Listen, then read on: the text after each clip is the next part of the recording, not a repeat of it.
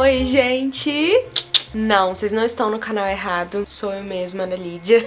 Bom, tô aqui com o cabelo escovado. Ainda não saiu o vlog aqui no canal do dia que eu fiz a escova, que foi sexta-feira. Hoje é terça. E agora, nesse exato momento, eu vou lavar o meu cabelo e fazer a minha rotina voltando aos cachos e vou compartilhar tudo com vocês. Então, se você gosta de vídeo de rotina capilar, dando dicas de cuidados, já clica muito aqui no gostei, se inscreve no canal pra você acompanhar os próximos e vai me contando aqui nos comentários também quais os próximos vídeos de cuidados capilares que vocês querem ver por aqui, tá bom? Vão me contando aqui nos comentários. Seguinte, estou aqui, ó, com o cabelo escovado, como vocês podem ver. Eu acordei e não fiz mais nada, então as pontas já não estão mais tão legais, né? A raiz já não tá tão legal, porque já se passaram alguns dias e hoje eu não retoquei nada, não passei chapinha nem nada. Do jeito que eu acordei, só coloquei essa tiarinha aqui e foi, sabe? Mas se acalmem que vai ter vídeo de tudo aqui no canal, como eu falei, né? Eu gravei vlog do dia que eu fiz a escova, gravei é, mostrando como fazer ondas com a chapinha, penteados, enfim, ainda vai ter muito conteúdo aqui no canal pra vocês pegarem algumas dicas e se inspirarem. Mas enfim, agora eu vou fazer a minha rotina, né, voltando aos cachos e vou compartilhar tudo tintim por tintim aqui pra vocês, pra deixar o meu cabelo saudável, bem tratado, né, pra gente voltar aos cachos com tudo. E a Soul Power me convidou a fazer aqui com vocês esse vídeo a técnica de umectação reversa. Eu nunca tinha visto falar dessa técnica quando eles me mandaram, né, me,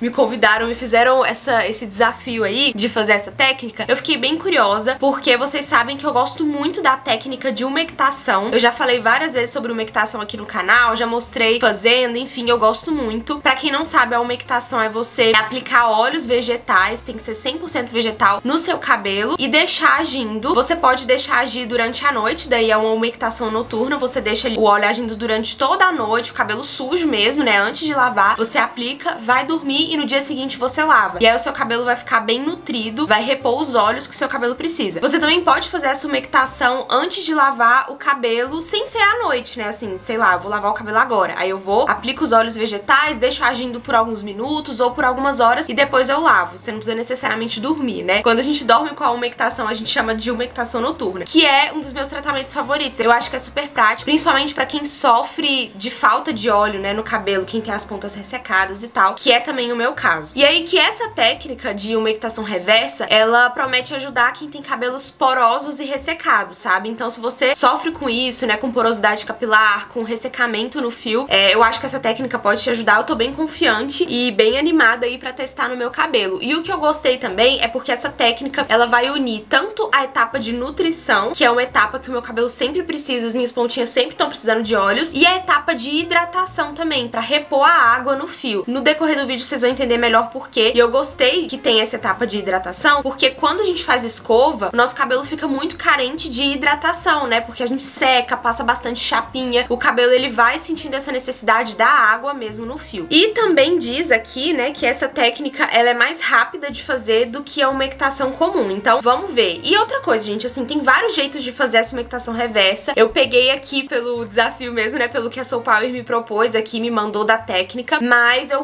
dei uma pesquisada também, né, vi que tem vários jeitos de fazer. Tem gente que aplica... Ah, na hora que eu começar a fazer, vocês vão ver. Mas mas eu vou falando quais são essas diferenças. Então assim, se você der uma pesquisada, você vai ver que existem algumas variações, algumas formas diferentes de fazer, assim como a umectação normal, né? Tem várias formas de fazer umectação, então eu vi que já tem alguns outros vídeos, alguns outros conteúdos aqui na internet que também ensinam de vários jeitinhos diferentes. Mas hoje eu vou compartilhar com vocês aqui a minha rotina, o jeito que eu vou fazer. E é isso, bora lá. Estou bem animada, bem curiosa. Ai, gente, cabelo está enorme, olhem isso. Como eu falei, a escova já não tá mais tão legal, as pontas já não estão tão legais, que do jeito que eu acordei eu deixei. Mas olha isso. Então vamos lá, diferente da umectação que a gente já conhece, eu vou começar lavando o meu cabelo, tá? Não vou começar aplicando nenhum óleo aqui agora não, vou direto pro banho. Partiu.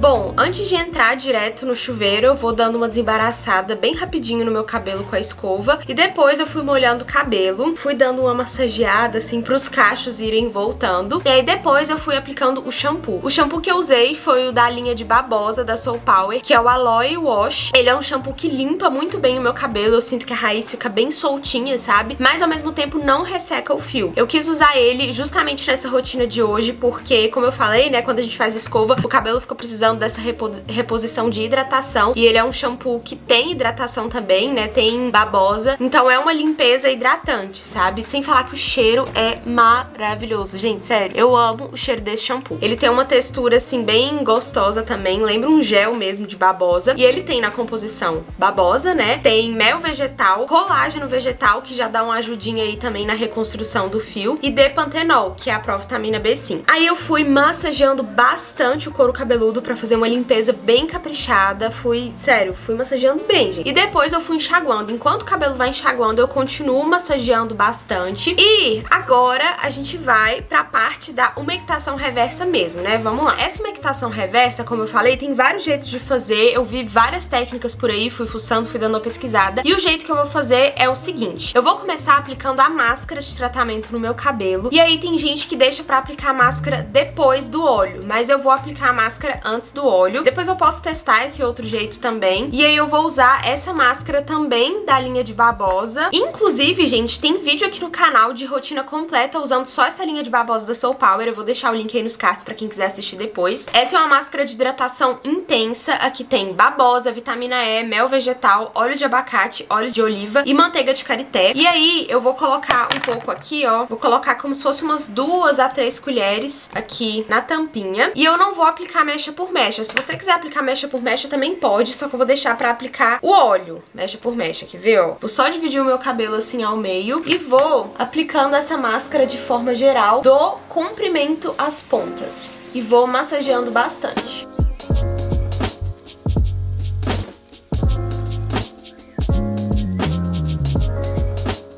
Pronto, ó, apliquei do comprimento às pontas, fui enluvando bem. Agora sim eu vou começar a dividir o meu cabelo aqui, mecha por mecha. Aí agora eu vou pegar o óleo vegetal. O que eu vou usar é esse daqui, o Hydra Oil, também da Soul Power. Todos os óleos da Soul Power são vegetais, liberados. E esse daqui tem óleo de oliva, girassol e vitamina E. Eu acho que ele é o meu óleo favorito, não só dos óleos da Soul Power, mas assim, de todos mesmo. É um dos meus queridinhos pra fazer umectação, tratamentos no geral. Aí eu vou aplicando assim, pego uma boa quantidade, porque realmente é uma umectação, né, gente? Dou uma espalhada aqui e vou aplicando na mecha, focando no comprimento e principalmente nas pontas. Um dos pontos positivos, assim, dessa umectação desse jeito é que você consegue espalhar melhor o óleo aqui no cabelo, ó, principalmente nas pontas, porque o cabelo tá mais maleável. Ó, consigo até desembaraçar aqui tranquilamente. E é uma boa também pra quem sente dificuldade de enxaguar a umectação, né? Porque às vezes, dependendo do tipo do cabelo, quando você vai lavar a umectação depois, é mais difícil de sair. E desse jeito aqui, é bem mais tranquilo de remover. E vou repetindo esse processo por todo o cabelo. Sempre lembrando de focar bastante nas pontinhas e no comprimento.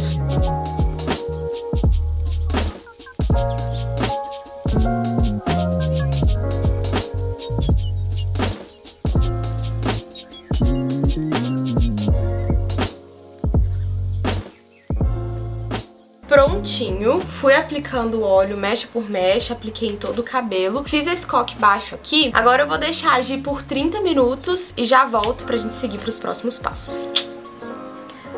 Voltei. Gente, deixei o tratamento agindo aí por 30 minutos ou mais. E aí, depois eu fui enxaguando. Enquanto eu enxaguava, eu enxaguei no tanque ali mesmo, na lavanderia, por isso que eu nem filmei, que fica difícil de filmar. Mas eu fui enxaguando, meu cabelo ficou assim, sabe quando o cabelo derrete mesmo, sabe? Tava muito, muito, muito macio, muito hidratado, assim. Eu já pude perceber o brilho enquanto eu enxaguava. E aí, depois, eu fui aplicando o condicionador. Eu usei esse daqui, que é o da linha Color Curls, porque ele tem um efeito anti-emborrachamento. Eu gosto muito muito dele. Além de hidratar, de nutrir, ele é bem focado também em reconstrução, tanto que é indicado para meninas que descolorem o cabelo. E eu quis complementar, né, dar uma fechada nesse tratamento com um condicionador assim, já que eu também usei muito secador, né, muita chapinha e isso acaba danificando o fio. Então eu quis usar um condicionador mais de reconstrução para repor a massa no fio, né, pra gente finalizar esse tratamento com chave de ouro. Esse condicionador é maravilhoso, muito cheiroso. Quando eu fui aplicando assim no cabelo, foi terminando de dar aquela desmaiada, sabe? O cabelo ficou bem derretido mesmo mesmo. E eu gosto bastante. E agora eu vou finalizar o meu cabelo como de costume. Vou fazer a fitagem mecha por mecha. Vou usar o Curly On Cream, que é um dos meus cremes favoritos da Soul Power. E a Seiva Modeling Curls. E vou aplicando aqui no meu cabelo, vou fazendo a finalização como de costume. E aí, depois que eu terminar de finalizar, eu vou deixar o cabelo secando, né, como de costume. E aí depois eu volto também pra mostrar o resultado final de tudo pra vocês, pra ver como que o meu cabelo ficou depois dessa escova, chapinha, enfim, bora lá. Tcharam!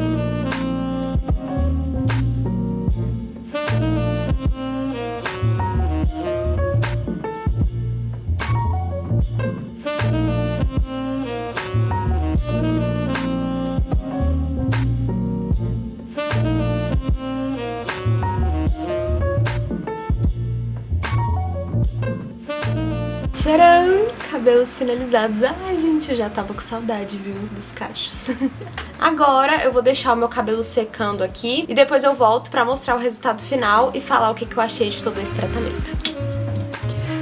Voltei. Gente, sério, tô muito apaixonada pelo resultado.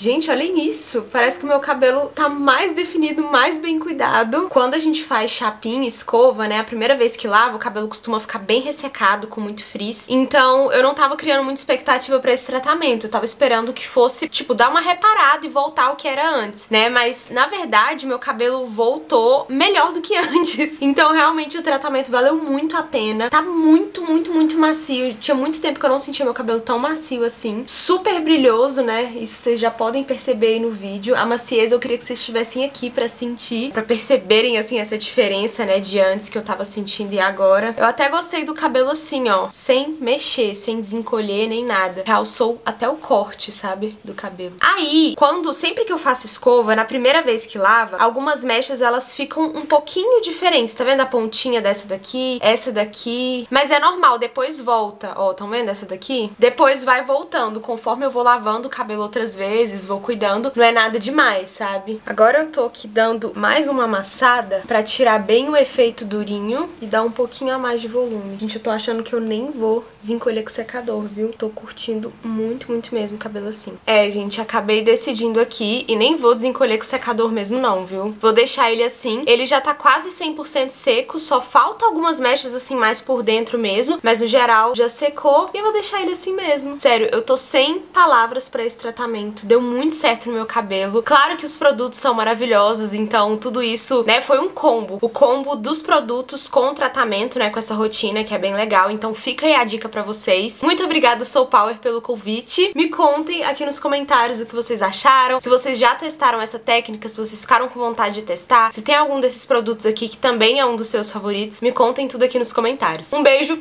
fiquem com Deus e até a próxima. Tchau!